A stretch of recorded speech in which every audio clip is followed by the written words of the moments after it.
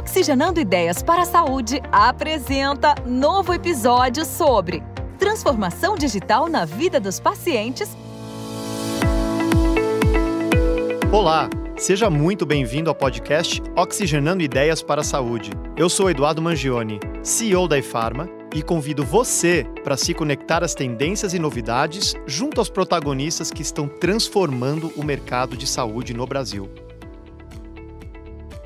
Estamos de volta com a segunda parte da entrevista com a farmacêutica doutora Ana Helena Ubrich, diretora da NoHarm.ai.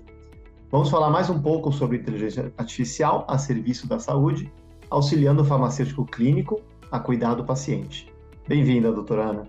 Muito obrigada, Eduardo. Nossa conversa já foi ótima, garanto que vai ser mais um pouco. Excelente. Doutora, primeiramente eu queria saber como surgiu a NoHarm.ai. Qual foi o gatilho para ter a ideia e para decidir seguir adiante com, com, com, essa, com essa iniciativa? Geralmente, né, um negócio ele vem da dor, né, que a gente sente.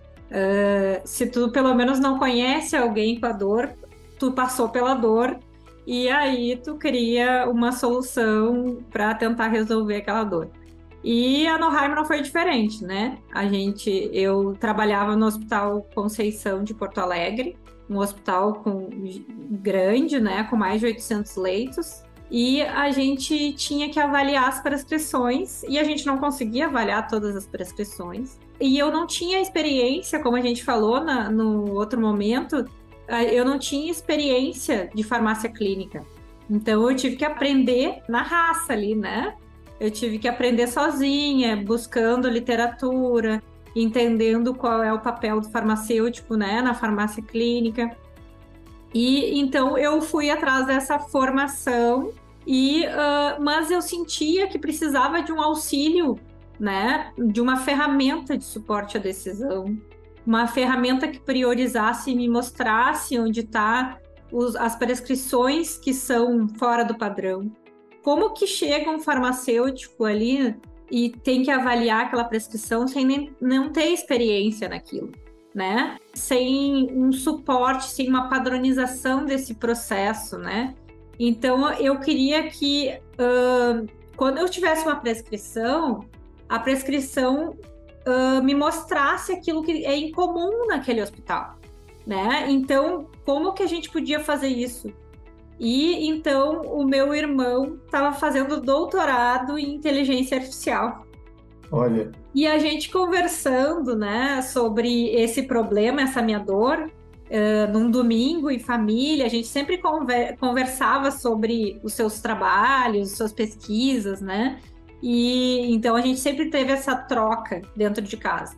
E então ele falando sobre o trabalho dele, que era uma pesquisa de inteligência artificial, um doutorado que ele estava fazendo, só que era sem tanto propósito, sem uma sem um objetivo importante assim, né? Ah, que é muito comum na academia, né? Esse tipo de pesquisa.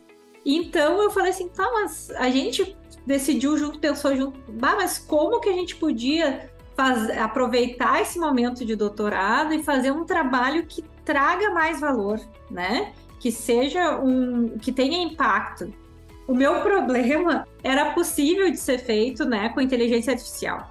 Porque tu pensa, o hospital tem várias prescrições, né? Vários itens que se, se repetem, uh, vários tipos de prescrições do mesmo item. Então, por que, que eu não poderia fazer um algoritmo que me alertasse sobre aquela prescrição que não é comum naquele ambiente?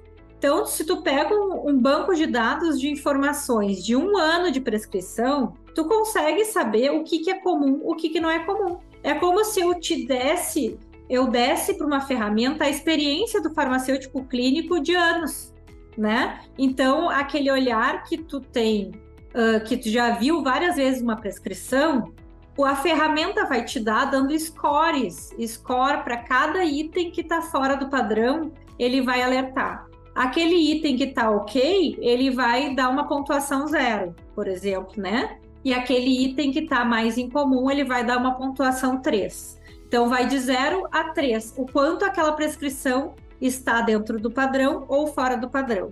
Então, ele alerta o farmacêutico clínico. Então, assim, a minha dor era olhar para a prescrição e deixar passar alguma, algum erro. Eu tinha essa angústia, essa insegurança, né? Essa era a minha dor.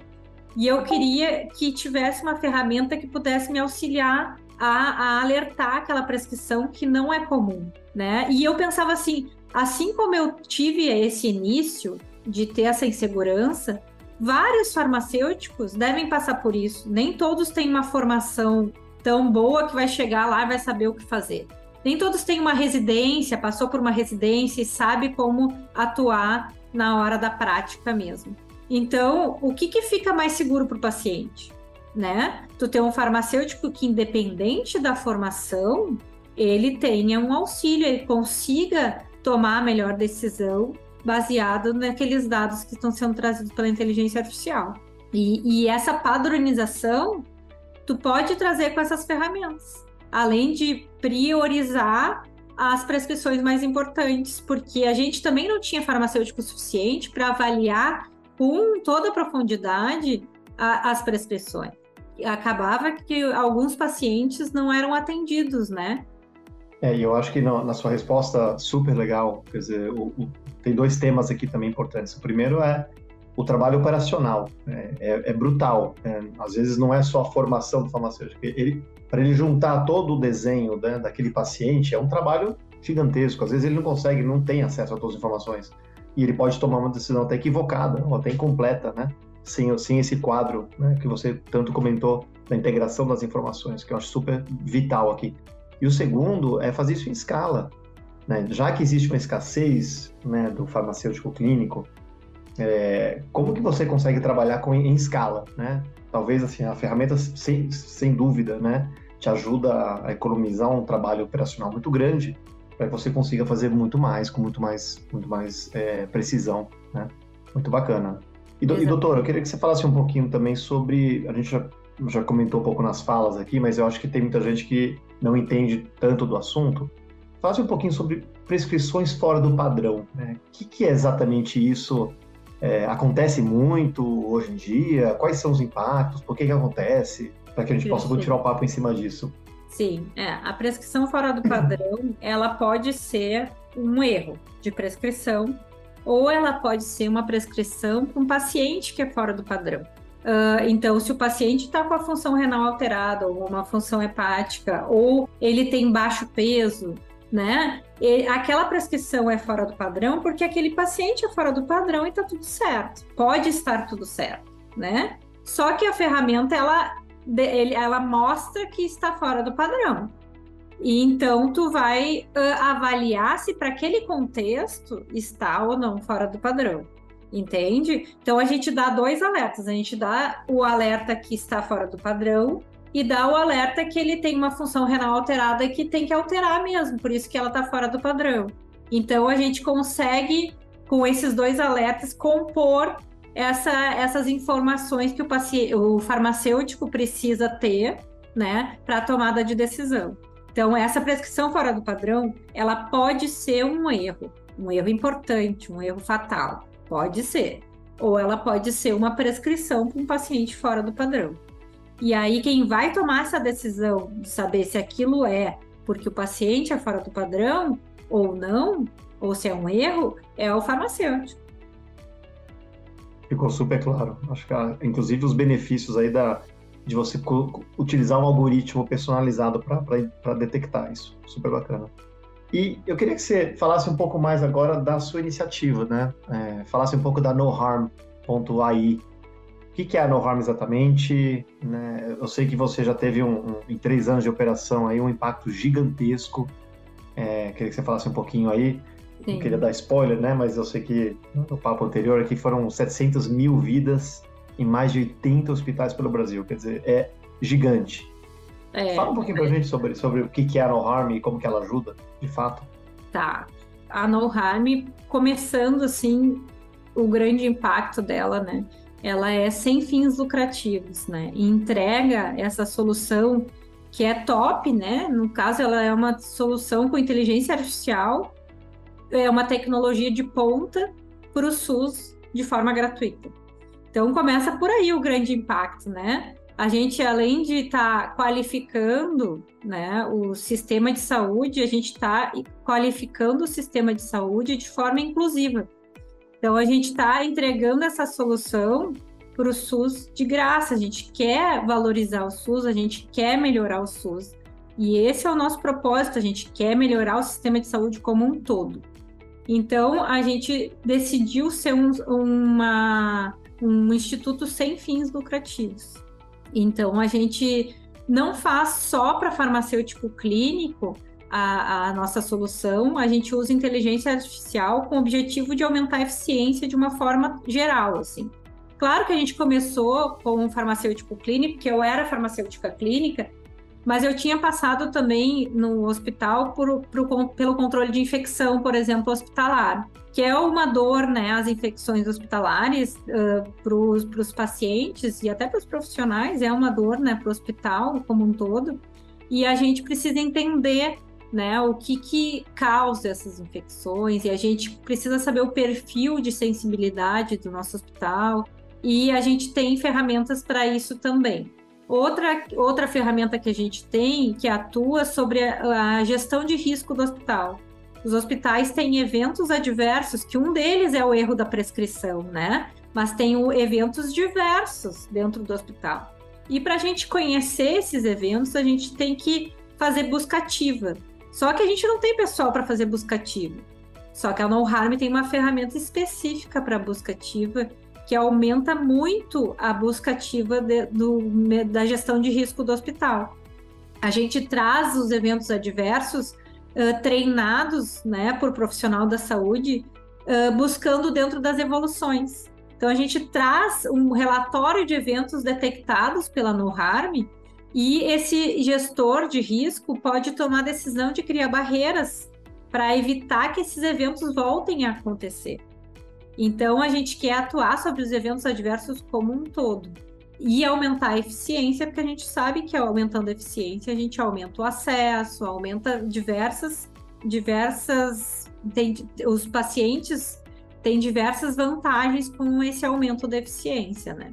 E as próprias instituições, né? Quer dizer, existe uma redução de custo, uma otimização de recurso gigantesca, imagino, né? Exatamente. A gente também traz esses relatórios de farmacoeconomia na, no HARM, que, tra que valoriza. A gente sabe que acaba que o gestor quer saber o impacto no bolso, né? Então a gente traz esse relatório para justificar ainda mais a atuação do farmacêutico clínico, então acaba valorizando o farmacêutico clínico, a gente quer valorizar esse farmacêutico clínico dentro da instituição e mostra esse trabalho que está sendo feito, que às vezes a gente fica fazendo esse trabalho dentro da instituição e não tem indicador para mostrar porque a gente não tem tempo mal para fazer o trabalho, imagina para gerar indicador, né? Então, se a gente tem uma ferramenta que a, automatiza esse, essa geração de indicadores, tu tem o tempo para dedicar para o paciente, que é o mais importante. E deve ser um baita desafio atender gratuitamente os pacientes de leitos do SUS, imagino eu, né? É um como, desafio. Como que é lidar aí com, com esse desafio? Imagino que é, é, um desafio de manter a sustentabilidade na non-harm, né? A gente precisa ter um equilíbrio das nossas contas, né? Então a gente tem que equilibrar os, os hospitais pagantes, os leitos privados, né? E os leitos SUS. E que mesmo que o hospital seja misto, ele só paga pelos leitos privados. É uma, é uma alternativa que a gente trouxe para impactar todo mundo, né? Uh, mas a gente tem que estar tá preocupado sim com as contas, né, de ser sustentável. E então a gente acaba tendo que manter esse percentual de leitos privados e leitos SUS equilibrado. Então a gente acaba que a gente, ou agora, por exemplo, a gente tem em hospitais SUS que estão aguardando para implantar, porque a gente precisa, a gente tem esse gargalo, né? Então a gente claro, até pede, claro. né, uh, doações. A gente pode receber doações, e a gente está tentando investir nessa parte de doações também, Eduardo, porque a gente precisa uh, que esses do, uh, que a gente receba doações para sustentar essa gratuidade para o SUS. É, a gente está fazendo esse, alguns eventos também agora para doação no sentido de a gente quer manter essa gratuidade para o SUS e a, e a gente tem demanda para isso. Então a gente só precisa que alguém nos auxilie né, nesse, né, com doações para que a gente possa uh, manter a nossa operação equilibrada, né? Nossas contas equilibradas. Perfeito, motivo extremamente nobre aqui. Eu até vou deixar você fazer uma propaganda rápida aqui. Se é. alguém tem interesse e puder né, doar, é, aonde que qual, que qual que seria o caminho? A gente tem o site específico, né? Quero doar, tem lá. É o nome do site é noharm.ai barra doe, D-O-E, né? Então, tu, uh, através desse site, vocês podem propor uma doação de qualquer valor, mas a gente tem hospitais aguardando essa doação para que a gente possa implantar no SUS. Para que a gente mantenha essa, esse equilíbrio financeiro, a gente teve que optar né, por, por uh, incentivar essa doação. Parabéns, doutora. Que, que baita iniciativa, é, de verdade. E Obrigada. o seu projeto, pelo que eu sei, ele já recebeu algumas propostas de financiamento para se tornar uma empresa com fins lucrativos, né? Por que, que houve recusa da, das propostas, né? Por que, que você não, não optou por esse caminho também? E assim, olhando o investimento, né? Se a gente pensar, mais investimento não levaria a solução da No Harm para mais hospitais? Necessariamente. É, tem, tem muita gente que pergunta isso. Agora a gente está no BR, BNDES Garagem, né? E uh, é, é um questionamento constante. Por que, que a gente não é com fins lucrativos? Com fins lucrativos, a gente não estaria impactando mais pessoas, né? Uh, é uma pergunta que a gente também se questiona. Mas o, o, investidor ele tem interesse de retorno de investimento, né? E a gente quer manter a gratuidade para o SUS. Quanto mais a gente tem essa necessidade de retorno de investimento, menos a gente pensa nessa gratuidade para o SUS. E, e, a gente vai estar tá impactando, se a gente tirar essa gratuidade, a gente vai estar tá impactando não mais de forma inclusiva. A gente vai estar tá impactando quem tem dinheiro para pagar. E a gente não quer isso, né? Por isso que acabou assim que os, o, além de não ter fit com a gente, que o investidor a gente tem que ter fit, né? Para fazer sentido, uh, a gente não, não viu essa possibilidade de seguir com a gratuidade para o SUS uh, através desses investimentos. E a gente tem capacidade, a nossa equipe é uma equipe enxuta, e a gente tem capacidade de manter a nossa sustentabilidade, mantendo a gratuidade para o SUS. E a gente já tem, já passou da, do Vale da Morte das startups, então, uh, a, gente, a gente consegue se sustentar mesmo, sabe? Uh, a gente tem esse equilíbrio financeiro e, uh, e consegue entregar de graça para o SUS, né? Então, super bacana. Enquanto a gente puder fazer isso, a gente vai manter assim. E doutora, você, enquanto empresa sem fins lucrativos, você consegue quantificar a contribuição para a prevenção de eventos adversos no SUS através da, da, da sua solução? a gente consegue quantificar pelas intervenções aceitas, né? Então, o farmacêutico ele faz uma intervenção para o médico e se ele aceita essa intervenção, existe uma alteração da prescrição, né? Ele aceitou a intervenção, altera a prescrição e então esse essa alteração de prescrição quer dizer que houve um impacto naquele paciente, né? Ele alterou a prescrição e uh, o paciente poderia estar com prescrição errada, se não fosse aquela. Essa intervenção ela pode ter um impacto no paciente, né, uh, uh, evitando algum evento adverso, ou ela pode ter impacto na instituição, reduzindo um custo. Então, todos eles é, be é benéfico para o sistema de saúde, né? Redução de custos ou aquele impacto evitando um evento adverso. Bacana. E e voltando à tecnologia, né? A gente sabe que implementar tecnologia sempre, sempre tem seus desafios. E principalmente a inteligência artificial, que é tão novo, né? principalmente aplicada numa área específica como, como a que a gente está conversando hoje. Quais seriam os desafios principais na implantação é, dessa tecnologia, principalmente a inteligência artificial, olhando né, a segurança do paciente e como que eles podem ser superados? Uh, então, a, os, os desafios da inteligência artificial é tu tá sempre validando, né? O modelo ele tá sempre tem que estar tá sempre sendo validado para evitar que tu esteja trazendo informação equivocada porque o modelo foi treinado uh, errado, né? Então a gente está sempre monitorando, sempre monitorando o resultado da inteligência. E tem que ter um profissional da saúde envolvido nesse processo para que tu não, não faça, não, não gere um resultado errado, né? Porque se tu não entende daquele assunto, tu pode trazer qualquer coisa de dado e aquilo não pode não fazer sentido nenhum e tu tá tomando a decisão em cima de um dado errado, né? Ah, então a gente tem que estar tá sempre validando, tem que ter um profissional técnico, profissional da saúde envolvido nesse processo de criação de, de modelos de inteligência artificial para que tu não faça, porque tu está lidando com vidas, tu não pode tratar aquilo como um modelo qualquer né? Tu tem um impacto importante e pode ter um impacto no, e gerando mais risco se tu trouxer uma coisa equivocada. E ele é, ele, você imagina que você tem modelos de machine learning, né? ele vai aprendendo e vai ficando cada vez mais inteligente sobre as próprias recomendações, os próprios casos de, de uso dele, é isso? Depende do modelo, tá? Uh, O nosso modelo, eu, a gente inicialmente pensou assim, desse jeito que tu tá falando, né?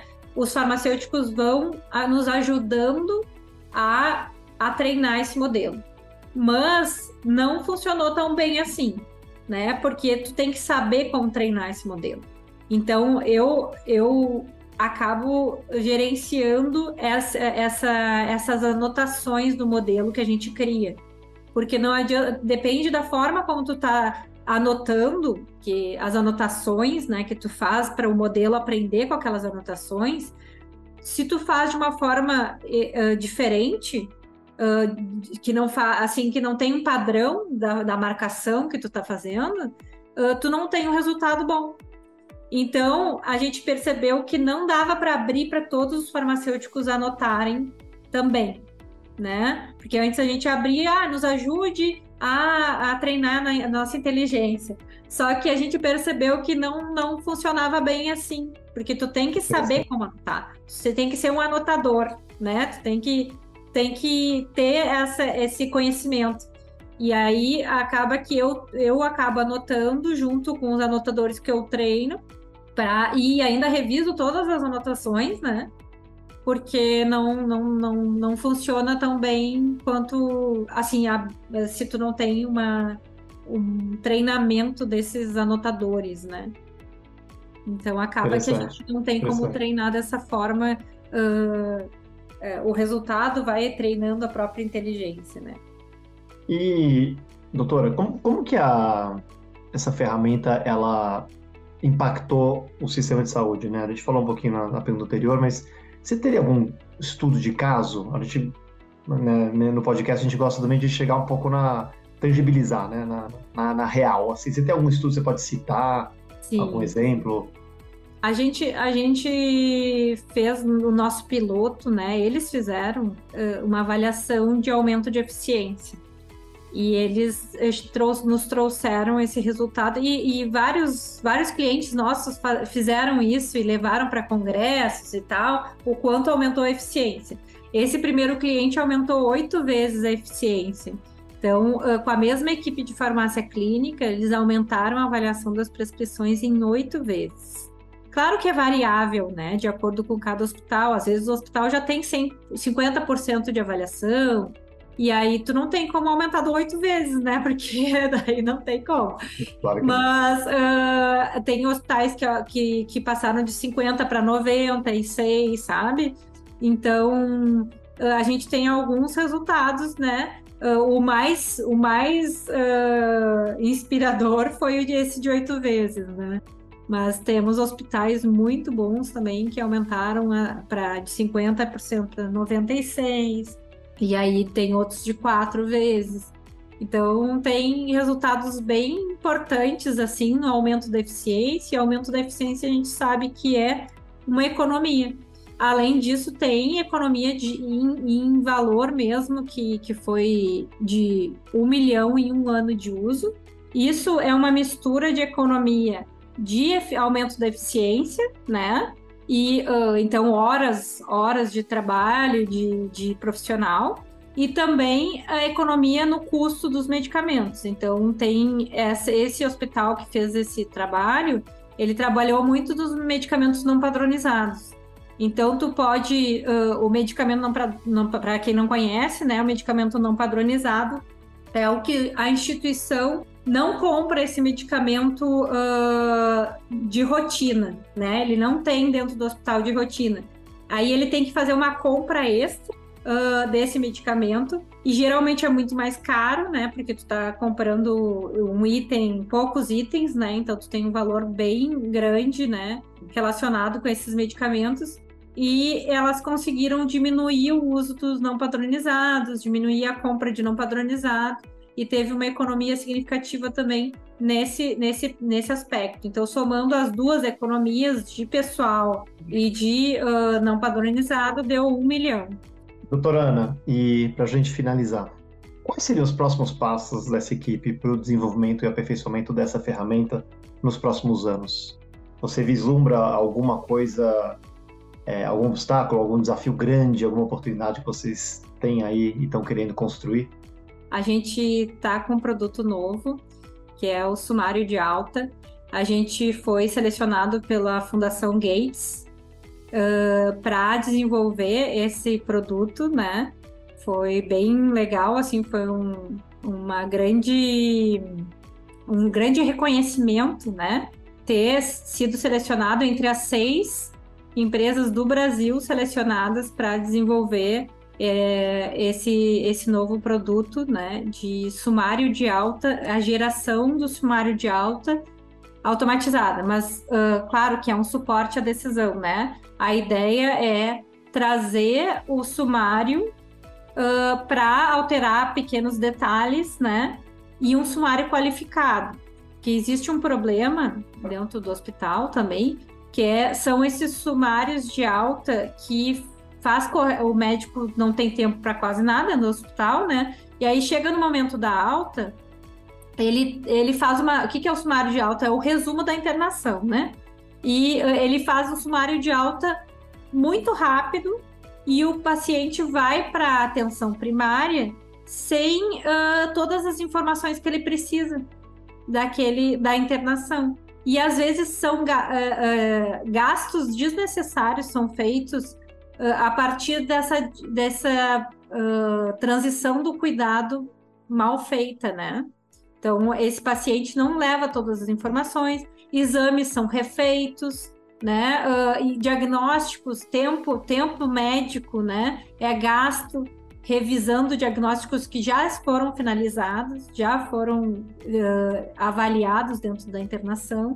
Então, se tu tem uma nota de alta, um sumário de alta, uh, qualificado, tu evita esses gastos. E a gente está no desenvolvimento desse uh, sumário de alta com dois modelos de inteligência artificial. Um modelo que extrai as informações das evoluções e um modelo generativo, tipo o chat GPT, que gera um texto uh, estruturado, com sentido, né? Uh, a partir dessas uh, evoluções extraídas. Conversamos com a doutora Ana Helena Ubich, uma pessoa profissional inspiradora, farmacêutica e diretora executiva da NoHarm.ai, inteligência artificial a serviço da saúde que está auxiliando o farmacêutico clínico a cuidar do paciente. Reforço aqui a oportunidade de poder contribuir com essa iniciativa maravilhosa. Para doar qualquer valor, entre no site noharm.ai doe e faça a sua parte. Doutora, muito obrigado por participar do nosso podcast. Foi uma conversa maravilhosa. Muito obrigada, o prazer foi todo meu. Foi uma conversa assim uh, deliciosa, né? E é bom poder conversar com quem entende do negócio, né? Para a gente contribuir ainda mais e todo mundo ente entender melhor a nossa solução. Obrigado e sucesso. Espero que você tenha gostado do episódio de hoje. Eu com certeza gostei muito. Continue acompanhando nossos próximos episódios no Spotify, no Google Podcasts e não esqueça de ativar as notificações. Obrigado pela sua companhia. Um grande abraço e até o próximo programa.